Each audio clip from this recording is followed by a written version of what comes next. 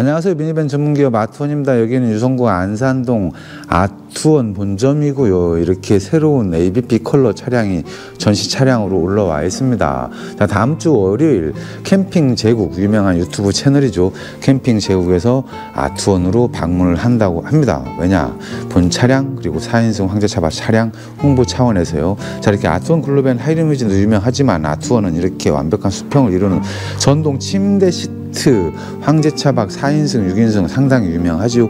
그리고 안쪽에도 이렇게 29인치 QHD 안드로이드 모니터, 그리고 기아 순정 하이리무진에 생산하지 않는 saddle brown 컬러도 이렇게 많이 판매가 되고 있습니다. 자, 다음 주 월요일에 새로 발표되는 것이 있는데요. 기존에 있던 것과 다른 전혀 새로운 부분, 즉 2열의 회전 시트가 발표가 됩니다. 자, 아트원에서는 이미 전후 이동, 좌우 이동을 한 레바로 완료를 했고요. 회전 시트를 했을 때도 이렇게 순정 시트보다 높지가 않은 특허를 가지고 있습니다. 바닥 쪽엔 요트 바닥, 그리고 조수석 뒤쪽은 뒤를 바라보고 운전석 뒤쪽은 이렇게 승차 모드를 하고 있습니다. 자, 이것 외에 다양한 것이 아마 월요일에 촬영이 될 건데요.